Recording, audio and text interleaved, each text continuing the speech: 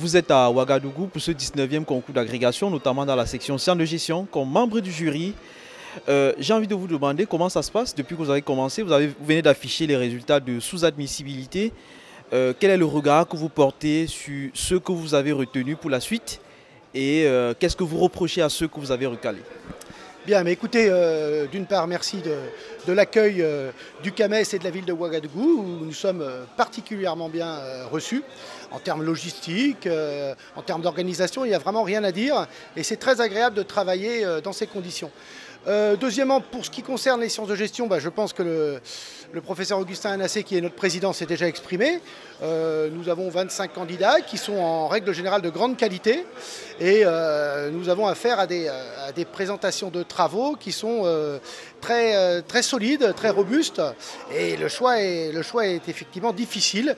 Alors, nous venons d'afficher hier soir les, résultats et en général, euh, ce qui passe pas, c'est euh, souvent pour des raisons de temps en fait. Hein. Le concours euh, est tous les deux ans, euh, le, dossier n'est pas, pas encore totalement à maturation et en termes de recherche, en termes de positionnement académique, en termes d'implication institutionnelle, il y a encore des, des choses à, à, faire, à faire évoluer.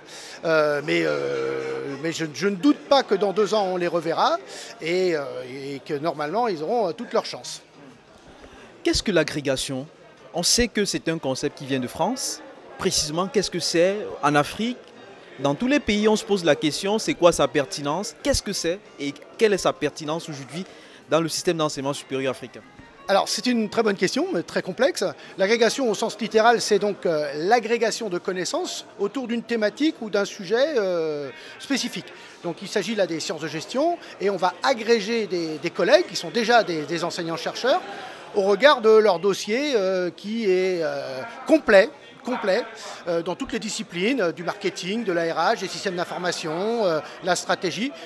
On, va chercher une grande homogénéité des connaissances sur nos disciplines et en plus une capacité à restituer les informations, restituer les, travaux de recherche, restituer de façon claire, simple, pédagogique. Donc l'agrégé, c'est à la fois celui qui a les connaissances théoriques et empiriques, notamment méthodologiques, mais c'est aussi celui qui sait les transmettre clairement pour faire venir à lui euh, bah, les, étudiants et qu'ils adhèrent euh, et qu que, ce professeur agrégé euh, soit un animateur d'une communauté scientifique.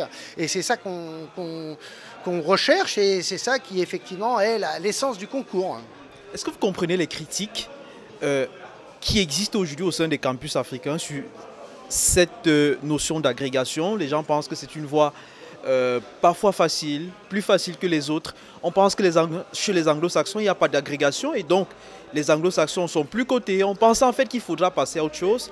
Quel est votre point de vue là-dessus? Alors mon point de vue, c'est euh, bah, un débat que je connais bien, puisque c'est exactement le même en France, hein, exactement. Euh, L'agrégation est une des voies pour devenir euh, professeur des universités, c'est pas la seule. Moi je pense que c'est une, voie qui est originale, parce qu'il y a au niveau du CAMES, donc on est dans la sous-région, on a une, une, épreuve commune à des, à, des, à des, candidats qui sont de nations différentes, de, de, contextes différents, et cette, cette homogénéité du concours est un atout. Mais à côté de ça, il y a évidemment des, euh, il y a évidemment des, spécificités, d'autres voies d'accès au métier.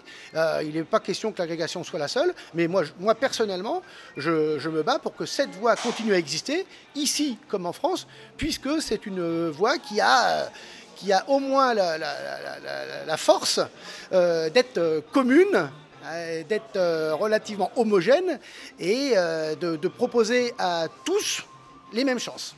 C'est quoi un bon agrégé? Un bon agrégé, ce sera un, enseignant-chercheur, hein, d'abord, c'est quelqu'un qui aime son métier, c'est quelqu'un qui euh, aime euh, la rencontre avec euh, les étudiants, la rencontre avec les collègues, qui, va aimer confronter ses idées. Les siennes ne sont pas forcément les meilleures, mais au moins il va écouter, il va transmettre, on va confronter des méthodos, confronter des corpus théoriques. Un bon agrégé, c'est quelqu'un qui va écouter et qui va produire de la connaissance dans sa spécialité. Voilà. Et qui va être capable d'entraîner avec lui une communauté d'étudiants, de collègues au sein d'un labo, au sein d'un UFR, d'une faculté. Euh, on va demander à l'agrégé d'être moteur, d'être animateur d'une communauté et pas uniquement un ancien chercheur dans son coin à travailler tout seul. Ça, il n'en est pas question. Merci. Merci à vous et encore une fois merci au CAMES et merci à la ville de Ouagadougou de nous accueillir dans de si bonnes conditions. Bonne chance à vous pour votre émission.